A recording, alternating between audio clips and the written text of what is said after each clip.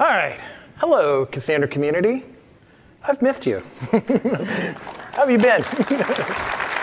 so, uh, here we are. So, Cassandra 5, and we have a few things to announce today. Thank you, everyone, for being here, and from everyone that came for AI. How about, how about some Cassandra, too? So, the big thing that we need to talk about today, let's get things started, is Cassandra 5. Where is it? When am I going to have it in my hands? So right now, Cassandra 5 Beta 1 is released. It is, per, is currently released. So, and that's an Apache release. Uh, the next step, of course, is RC and then GA. When is that going to happen? As soon as you get out there and test it. So let's go. Let's get out there and get it done. So there's some changes that were made uh, a couple months ago, so everyone knows what is going on. So as you know, uh, I think if you're talking about Cassandra in the past year, the word ACID transactions have probably come up a couple of times, right? Oh man, dead crowd. Uh, can I, what's the deal? Like you don't love databases anymore. Jeez. All right, so, but this, here's the change that happened. So 5.1 and 5.0, what's the, what's the deal here? So part of the, what happened was in the project, we voted to decouple the ACID transactions portions and TCM, which is the transactional cluster metadata. That's a long word. But anyway, ACID transactions, we decoupled it away from 5.0 to get 5.0 out the door.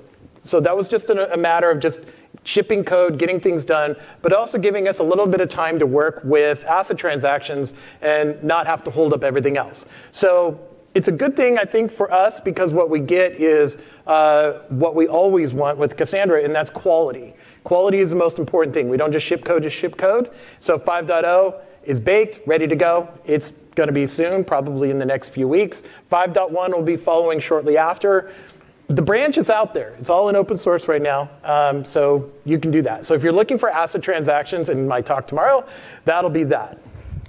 Another thing to bring up is uh, so Cassandra 5, if you didn't know this, it, it causes the uh, Cassandra 3.x branch to go into EOL. We announced this last year or earlier this year, but part of that is the certifications, which are all on 3.0 that DataStax provides, uh, will also be invalidated. So there are new certifications available as well. So uh, you can follow the QR code. Uh, it's completely updated, includes even ACID transactions as well. So nice updated um, nice and updated for everyone. And then finally, um, part of the, another thing to announce in the project is we now have this new program. Uh, some of you might remember the MVP program from a long time ago. This is an updated program completely run by the ASF project, by Cassandra project, and the PMC. And this is a Cassandra Catalyst. And these are folks that are doing a lot of really good things in the community and getting the word out and energizing the community in the right ways, right? Um, and I'm happy to announce we have our first batch, uh, and there are more to come. Uh, but if you're interested in nominating someone or even putting your hand up, we're taking nominations all the time. It's not a once a year thing. So I'm going to hand it over to Katerina. Thank you. Hello, everyone. Um, I'm very, really excited to be here today. Uh, thank you for joining us. Uh, my name is Ekaterina. I'm a software engineer at DataStax and Apache Cassandra committer uh, since 2020. So what's in Cassandra 5 that Patrick just mentioned?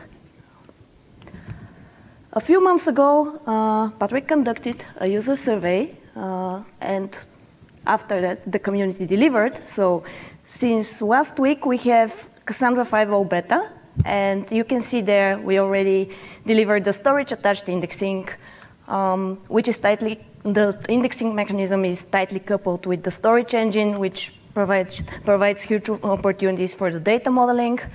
Uh, also, it's very performant, and uh, it works with the existing data models, which is a great thing.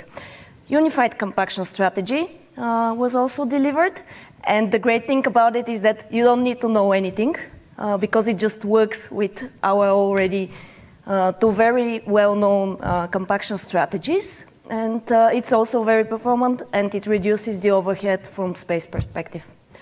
Vector search. Um, have you heard of the Gen AI stuff? Uh, yeah, I guess so. I guess you heard.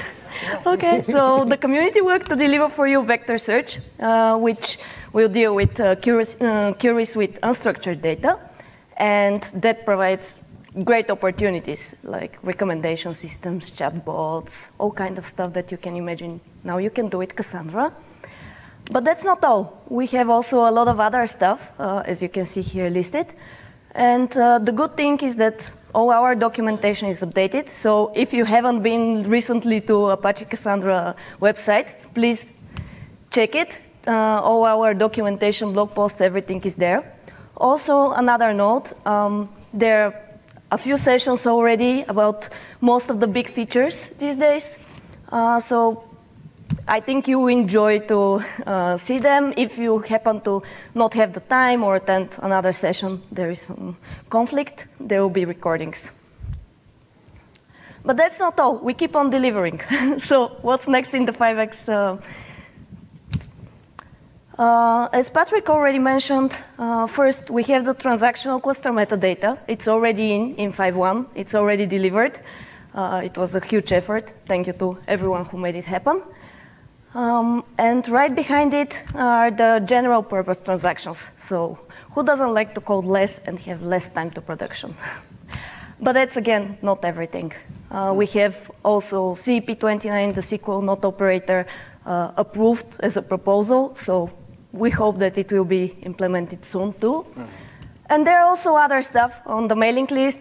Please uh, join us and uh, see the discussions, give feedback, test Cassandra 5 and 5.1, whatever you prefer, and get any feedback back to us.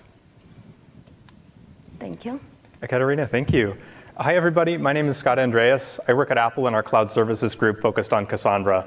Patrick, Katerina, and I are here to tell you about how rapidly Apache Cassandra is advancing. I don't think there's any other database in the industry that's gaining these types of industry-leading features as fast as Apache Cassandra, and none can match its scale and availability. Tomorrow at 10.30, I'll be speaking on Cassandra's evolution and where the database might be headed. This is a real quick preview. If there's one thing that you learn about Cassandra this week, I hope it's about the future of distributed ACID transactions in the database and the protocol that powers them called Accord. There are a lot of ways to implement transactions in a database. You can do things like grab a consensus library and serialize transactions through them.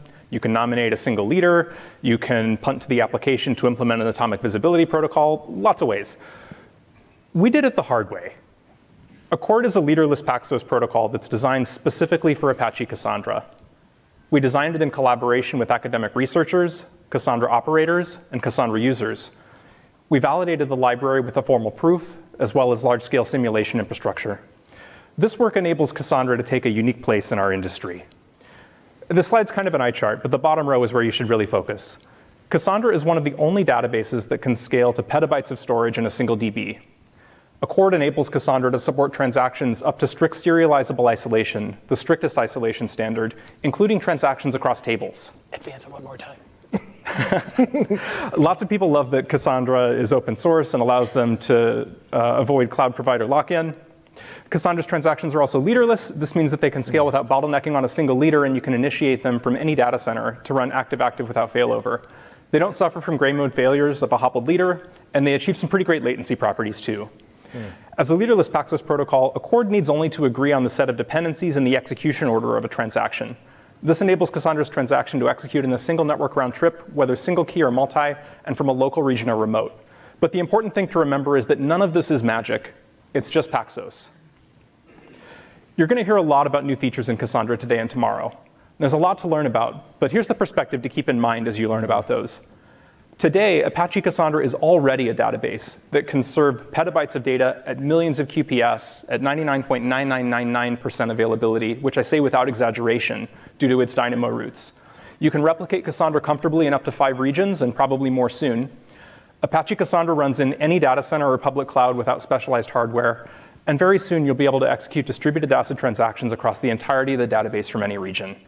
This is a really incredible set of capabilities and sets Cassandra apart within our industry. But there's one more thing that I really value the most. It's that Apache Cassandra is 100% open source under a permissive license and can be downloaded, learned from, and modified by anyone. This last part is incredibly important to me as someone whose path to engineering didn't start with a CS degree. Given an increasing trend toward proprietary databases and cloud provider consolidation, the next generation of distributed database engineers need a place to learn and a place to innovate. The Apache Cassandra project is a great place to do that. Thank you all for coming. I can't wait to see you and meet you at this conference. Um, I hope that all of you learned wonderful things about Cassandra and AI and that you come up and say hi later. Thank you all very much.